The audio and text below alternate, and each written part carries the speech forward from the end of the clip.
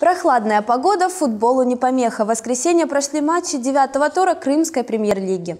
«Океан» разгромил КФУ «Бахчисарай», ТСК «Таврия» смогла вырвать ничью в матче с феодосийской «Кафой». В поединке Севастополя и Ялтинского «Рубина» счет так открытый не был. Со счетом 0-0 закончился и наш домашний поединок. На игре Евпатории с Крым-Теплицей работала наша съемочная группа. Елена Платонова расскажет подробнее.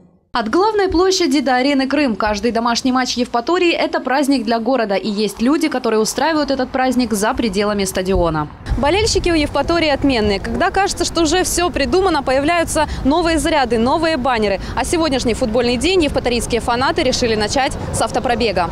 Эти люди знают, как поддерживать свой город, и каждые выходные они вместе с командой доказывают, что Евпатория достойна большого футбола. Сейчас э, во многих клубах наших, ну, нашего Крыма очень мало чего-то делают интересного. У кого-то какие-то конфликты, у кого-то не, ну, какие-то недопонимания. В нашем клубе у нас все дружно и весело, поэтому именно для этого мы делаем, чтобы наш клуб ну, процветал, чтобы он показывал себя с лучшей стороны. Ну, наверное, ну, вот именно для этого. К желто-черным флагам в городе уже привыкли, но такой автопробег прошел у нас впервые и довольно успешно.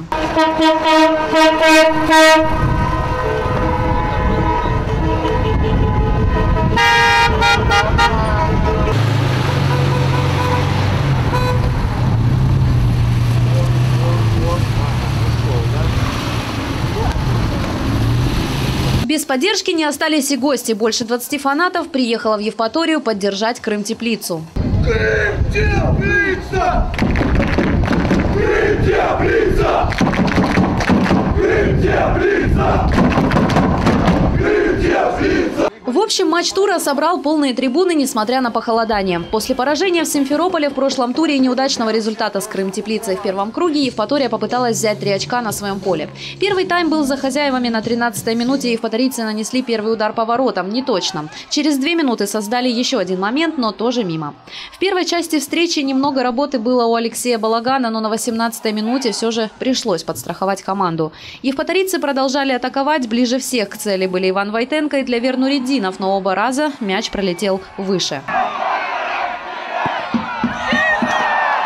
Первый тайм считаю, что полностью доминировала команда из Евпатории.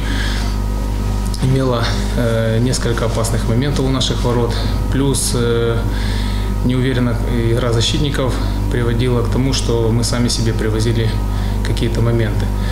Но во втором тайме в раздевалке мы пообщались и полностью игра изменилась э, кардинально.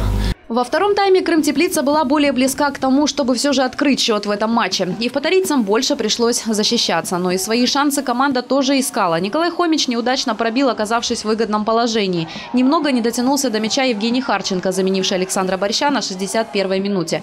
По итогу открыть счет в матче так и не удалось. Игра закончилась без голевой ничьей. Хорошая боевая игра. Два разных тайма будем разбираться, почему так произошло. Есть кое-какие недочеты. Ну так, молодцы, хорошие. Хорошая игра, напряженная.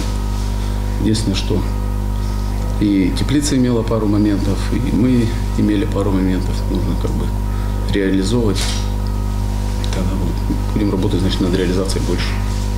После девятого тура Евпатория по-прежнему находится на третьем месте, отставая от лидеров Крым-Теплицы на три очка. Нашу команду ждут три игры на выезде, две в чемпионате и одна в Кубке. А дома евпаторийцы сыграют уже 12 ноября. Елена Платонова, Валентин Малышев. Новости Евпатории.